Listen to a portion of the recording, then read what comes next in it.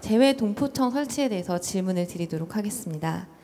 지난 6월 5일 재외 동포청이 공식 출범했습니다. 외교부 외청으로 출범한 재외 동포청에 정부 내 재외 동포 관련 업무와 기능이 상당 부분 통합, 이관되어 재외 동포들에 대한 정책 편의 제고 및 외연 확대 등의 효과가 기대되고 있습니다. 대한민국의 재외 국민은 한국 국적자가 아닌 동포까지 포함할 때 약 750만 명에 이른다고 합니다. 이번 재외동포청 개설로 전 세계에 널리 자리하고 있는 동포들과 대한민국이 더욱 긴밀히 소통할 수 있게 된 것 같습니다. 스승님, 글로벌 시대에 이번에 신설된 재외동포청이 어떠한 방향으로 정책을 수립하고 나아가야 하는지 지혜의 말씀 청합니다. 이제 시작이겠죠. 음, 이제 청을 설립할 정도로 이제는 어, 그걸 중요하게 생각을 한다라는 거죠. 그러나 이렇게 해서 이제 제일 동포들을 전부 다 이렇게 규합을 시켜서 이 사람들을 어떻게 할 거냐. 음. 이 사람들한테 어떤 혜택을 주는 게 바른 혜택을 주지 않으면 이게서 문제가 엄청난 문제가 생깁니다. 실질적인 혜택을 작더라도 하나하나 잡아가면서 이제 이걸 힘을 모아가야 되는 거죠. 대한민국은 왜 그러면 어 이렇게 잘 사는데도 제2동포들을 그 손을 못 댔느냐? 어 아까 이게 어 이게 뭐 풀어주던 것들이 똑같습니다. 대한민국은 아직까지 덜 컸습니다. 대한민국은 아직까지 전쟁 중이고 아직까지 우리가 수군 사업을 못 했어요. 그리고 우리 지식인들이 지금 대한민국에 이만큼 지식인들을 많이 만들어 놓고 지식인들이 전부 다 힘들고 어렵고 미칠 지경입니다. 우리가 미칠 지경인데 이 동포들을 우리가 너희들이 만질 수 있다고? 청을 만드는 건 잘했습니다. 한 번에 그때 어떤 역군을 갖다 막 퍼주면 안 됩니다. 운용을 잘못하면 큰일 납니다. 어. 그리고 이 대한민국에 이 사람이 모지른다고 해가지고 사람들을 막 갖다 였는데 이거 큰일 납니다. 우리는 사고를 안 치도 걔들이 사고를 다 칩니다. 우리 북에서 이 남한에 살겠다고 쫓아오는 애들이 있어요. 그냥 이렇게 갖고 사회에다가 조금 적응하게 해갖고 그냥 섞어 놓으면 어떻게 되냐. 적응을 못 합니다. 못 하면서 이렇게 우리가 대하는 방법은 그 사람들을 실망을 하게 해요. 우리 형제들을. 나만이 좋다고 왔는데, 좋기는 개코로.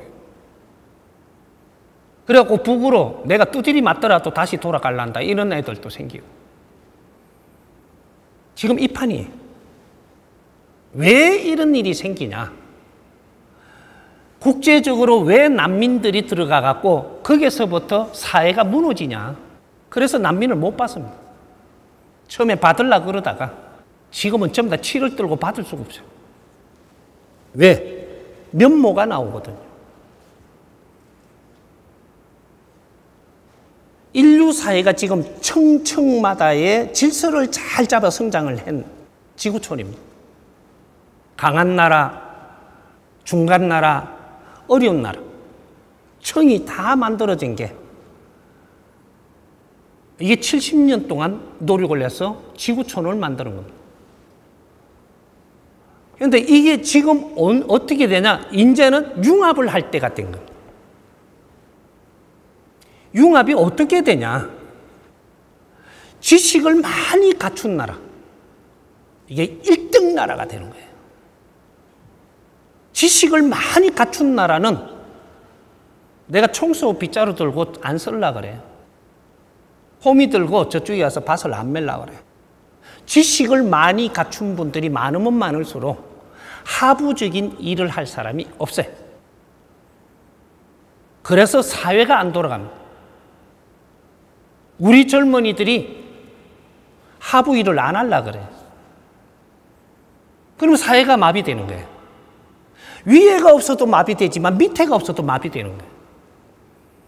중간에 허리가 없어도 마비되는 거예요. 그래서 대한민국은 다 기본으로 성장을 한 지식인들이기 때문에 성장했다라는 그 자체가 지식인들이라는 게 성장했다라는 거예요. 그럼 지식을 다 갖추고 나니까 노동 일을 안 하려 그래. 노동 안 하면 뭘 해야 돼요? 연구해야 돼요. 지식을 갖춘 사람은 연구원들이라는 사실이에요. 근데 내 할 일을 안 해. 뭐 어떻게 할지도 모르겠어. 누가 이런 걸 안 이끌어 준 거예요. 어, 연구도 안 하고, 노동도 하기 싫고, 밥은 좋은 거 처먹고 싶고, 백성들은 피땀을 흘리갖고 열심히 허리띠 쪼아가지고 일을 해가지고 경제를 일으키면 저거 다 처먹고, 그리고 골프 치는 기나 좋아하고, 우리를 이만큼 키워준 저 백성들은 어떡하고? 대한민국이 이만큼 지식을 갖출 동안에 인류는 기다리고 있고, 인류는 또 성장치 못하고 기다려주면서 희생을 하면서 또 인류 사회를 만드는 사람들은 어떡하고? 융합돼야죠. 국제사회하고 같이 손을 잡으면 전부 다 같이 일자리가 있습니다.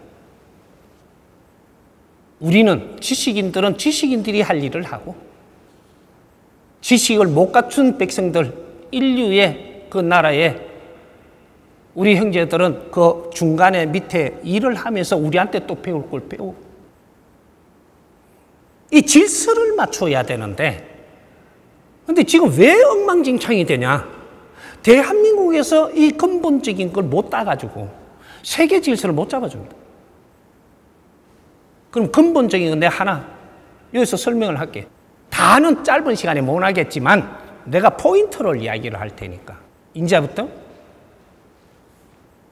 이 대한민국 사회에 들어와 가지고 적응을 하고 살려면 대한민국에 사는 교육을 받아야 돼. 만일에 북에서 넘어왔다면 3년 동안 대한민국을 공부시켜야 돼. 스리랑카에서 왔다면 대한민국 공부를 3년을 시키면서 거기에다가 잡도 조금 주면서 일단은 이걸 놔버리면 안 돼. 대한민국 퍼져놓으면 안 돼. 교육 안 된 자들이 대한민국에 설치면 대한민국 사람이 하는 행위를 이게 이해가 안 가. 그럼 적응을 못하고 그러면 사고를 치는 거예요. 세계에 우리 그 지금 저 저거 저 조금 후진국이 돼 갖고 못 배운 사람들이 어디로 가냐? 세계 최고 선진국으로만 찾아가요. 중진국 절대 안 찾아가. 그렇게 못 배우고 한 사람이 선진국을 무조건 찾아가는 거예요. 그 원리가 왜 그러냐? 그 근본을 모르는 거예요, 지금. 선진국에 가야 우리 할 일이 있다는 거죠. 선진국에 가야 우리 할 일이 있어. 거기에서는 선진국은 위에 연구하고 질 좋은 것만 하지 밑에 일할 사람이 없는 거예요. 그러니까 우리가 가서 돈을 벌어갖고 막 이렇게 하려 그러는데 그 나라를 모르면 그 일을 바르게 할 수가 없어요. 그 사회를 배워야 된다. 대한민국이 지금 일꾼을 쓰려고 그냥 갖다가 전부 다 이용해 먹으면 걔들한테 우리는 큰일 나는 일들이 이제 생깁니다. 이제 앞으로 경찰이 말이죠. 가면 갈수록 우리를 잡으러 안 다녀요. 다들 잡으러 다녀. 우리 잡을 시간이 없어.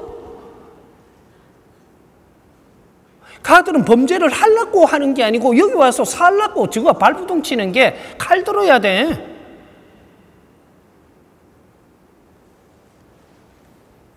그러니까 집단이 생기고 여기에서 마피아보다 아주 지지분한 마피아들이 대한민국에 생기기 시작해요.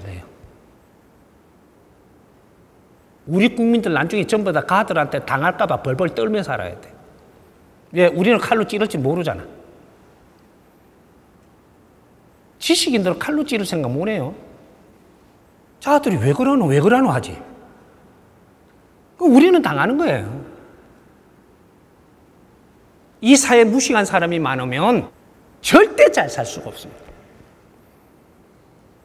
무식이라 하는 걸 이게 다르게 생각하세요. 책을 안 봤다 무식을 이야기하는 게 아니에요. 사회를 배우지 못하면 무식한 겁니다. 대한민국에 살려면 대한민국 사회를 알아야 돼요. 미국 사회에서 살려면 미국 사회를 알아야 돼요. 이러한 기초 공부도 시키고 미국에서 살 자격이 있어야 사는 거예요. 그게 나라를 전부 다 분리해 놓은 겁니다. 무조건 그쪽에 침범해가 그걸 따먹었다고 이걸 잘 운용할 수 있는 세상이 아니에요.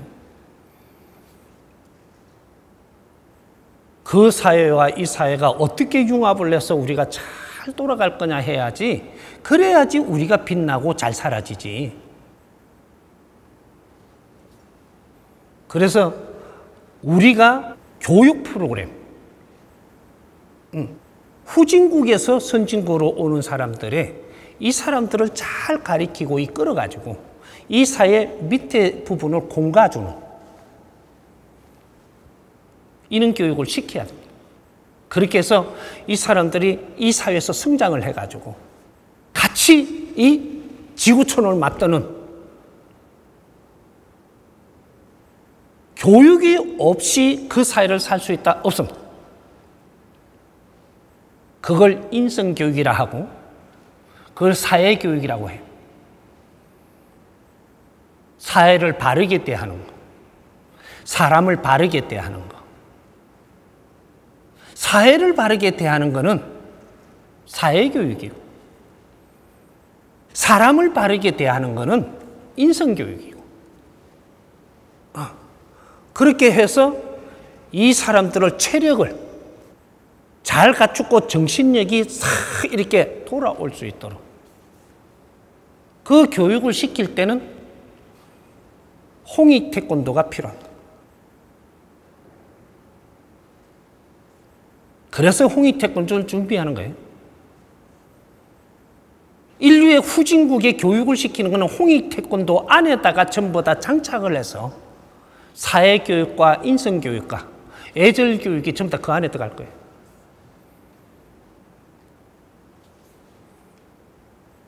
태권도로 해갖고 방편으로 해그 안에 교육을 잡아야 갖고 안 가리키면 절대 교육이 안 됩니다. 미래는. 그래서 태권도, 홍이 태권도가 우리 베이비 부모들이 태어나서 이걸 만지게끔 기초를 만들어 우리한테 준 거예요. 이건 스포츠가 아니고, 운동이 아니고, 무도입니다, 무도.